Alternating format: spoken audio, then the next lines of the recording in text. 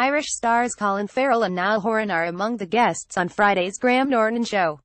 Farrell appears along with his co-star Nicole Kidman to talk about their new movie The Killing of a Sacred Deer. Meanwhile, Horan performs his new single Too Much to Ask live in the studio.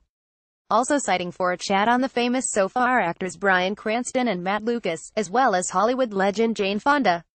During their chat, the iconic actress revealed how competitive Katharine Hepburn was with her over their Oscars. Left to right Jane Fonda, Nicole Kidman, Colin Farrell, Bryan Cranston, Matt Lucas and Niall Horan during filming of The Graham Norton Show PA Images on behalf of So TV PA Wire the duo starred together in On Golden Pond in 1981 alongside Fonda's father Henry, a role that netted Hepburn her third Academy Award. She told Graham Norton Katharine was very prickly and told me outright that she didn't like me much.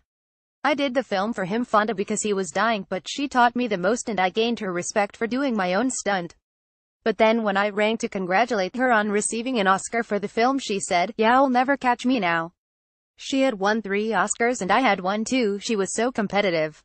Fonda also reflected on her 1968 film Barbarella, directed by her ex-husband Roger Vadim, joking I've burned all the films my husband made he was directing the movie, our marriage was falling apart and it was not an easy movie to make.